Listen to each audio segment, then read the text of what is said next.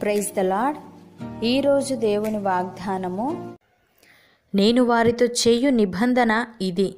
నీ మీదనున్న నా ఆత్మయు నేను నీ నోట నుంచిన మాటలను నీ నోట నుండి నీ పిల్లల నోట నుండి నీ పిల్లల పిల్లల నోట నుండి ఈ కాలము మొదలుకొని ఎల్లప్పుడూ తొలగిపోవు అని యహోవ సెలవిచ్చుచున్నాడు. యశాగ్రంథము గ్రంథము యాభై తొమ్మిదవ అధ్యాయము ఇరవై ఒకటవ వచనము. సహోదరి సహోదరులారా దేవుడు తన పిల్లలతో చేసే నిబంధన గురించి వారితో మాట్లాడే మాటలను గురించి వింటుంటే ఎంతో ఆశీర్వాదకరంగా ఉంటుంది. ఈ రోజుల్లో దేవుని ఆత్మ కలిగి ఉన్న వారి పిల్లలు వారి పిల్లల పిల్లలు కూడా దేవుని భయాన్ని ఆత్మను కలిగి ఉంటారని వారి నోట నుండి ఎల్లప్పుడూ దేవుని మాటలే పలుకుతూ ఉంటారని అవి ఎన్నడూ తొలగిపోవు అని దేవుడు తెలియజేస్తున్నాడు. ప్రియులారా మన పిల్లలు కూడా అలాంటి ఆశీర్వాదాన్ని పొందుకోవాలని ఎల్లప్పుడూ వారి నోటిలో దేవుని మాటలు ఉండాలని మనము ప్రార్థించవలసిన వారమై ఉన్నాము. అలాంటి ఆశీర్వాదాన్ని పొందుకోవాలంటే ముందుగా మనం దేవునితో సత్సంబంధం కలిగి ఉంటూ ఆయన ఆత్మను కలిగి జీవించవలసిన వారమై ఉన్నాము. దేవుడు మనలను మన పిల్లలను మన పిల్లల పిల్లలను కూడా ఆశీర్వదించుటకు ఇష్టపడువాడై ఉన్నాడు.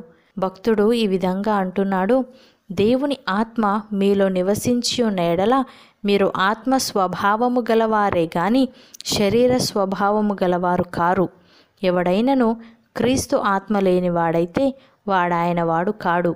క్రీస్తు మీలోనున్న ఎడల మీ శరీరము పాప విషయమై మృతమైనది గాని మీ ఆత్మ నీతి విషయమై జీవము కలిగి ఉన్నది మృతులలో నుండి యేసును లేపిన వాని ఆత్మ మీలో నివసించిన ఎడల మృతులలో నుండి క్రీస్తు యేసును లేపినవాడు చావునకు లోనైన మీ శరీరములను కూడా మీలో నివసించుచున్న తన ఆత్మ ద్వారా జీవింపజేయును.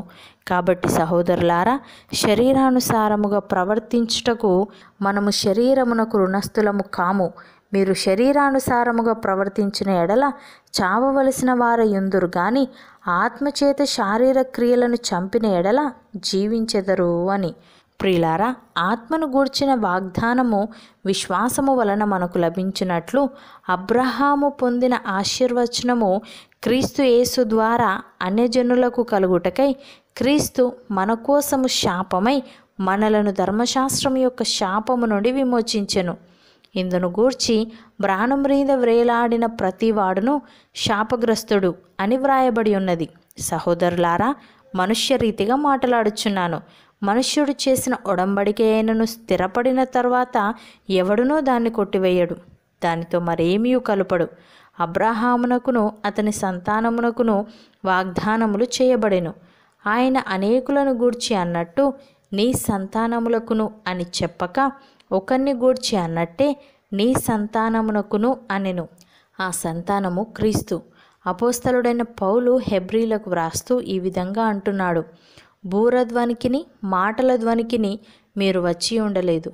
ఒక జంతువైనను ఆ కొండను తాకిన ఎడల రాళ్ళతో కొట్టబడవలనని ఆజ్ఞాపించిన మాటకు వారు తాళలేక ఆ ధ్వని వినిన వారు మరి ఏ మాటయు తమతో చెప్పవలదని బతిమాలుకొనిరి.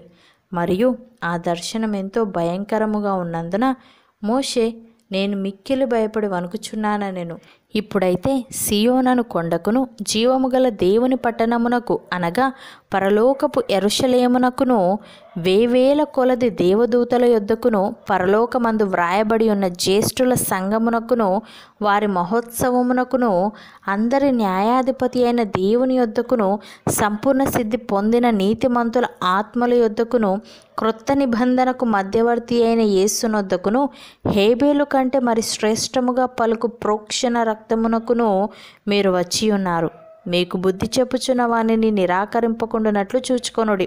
వారు భూమి మీద నుండి బుద్ధి చెప్పిన వానిని నిరాకరించినప్పుడు తప్పించుకొనకపోయిన ఎడల పరలోకం నుండి బుద్ధి చెప్పుచున్న వానిని విసర్జించు మనము తప్పించుకొనకపోవుట మరి నిశ్చయము కదా?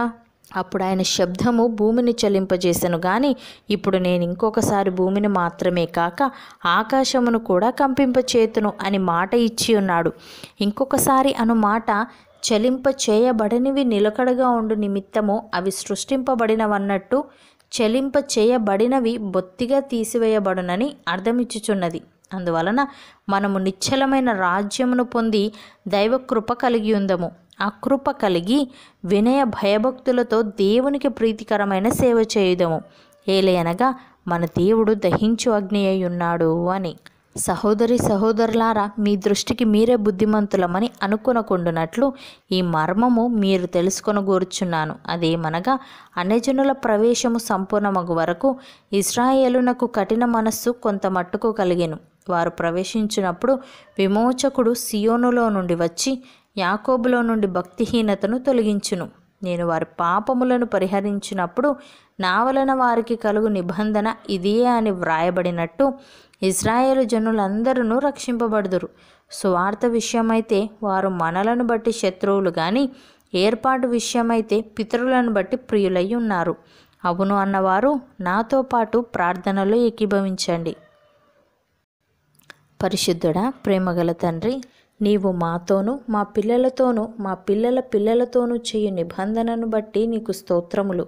తండ్రి మేము నీ ఆత్మను కలిగి ఎల్లప్పుడూ నీ మాటల ప్రకారంగా జీవించే వారముగా ఉండుటకు సహాయము దయచేయమని మేము నిశ్చలమైన రాజ్యమును పొంది నీ కృప కలిగి ఉంటూ వినయ భయభక్తులతో నీకు ప్రీతికరమైన సేవ చేసే వారముగా ఉండుటకు కృప చూపమని మా పిల్లలకును మా పిల్లల పిల్లలకును మాదిరికరముగా మా జీవితాలను మార్చమని యేసుక్రీస్తు నామమున ప్రార్థిస్తున్నాము తండ్రి.